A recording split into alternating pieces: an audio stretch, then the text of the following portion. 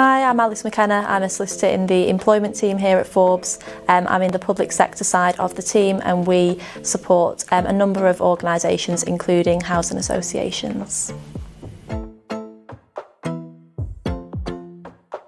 My role's uh, super varied, but we support our housing association and social landlord clients on a variety of employment and HR matters, uh, both non-contentious such as um, advisory um, and non-contentious queries, and also larger projects such as grievances, investigations and employment tribunal claims.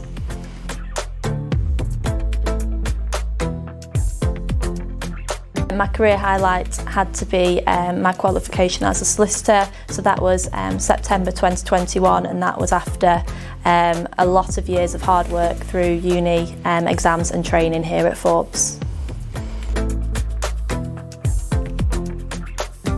I used to love my languages, uh, particularly French and German, so it'd probably have to be something involving those, maybe teaching those um, and probably living in another country as well.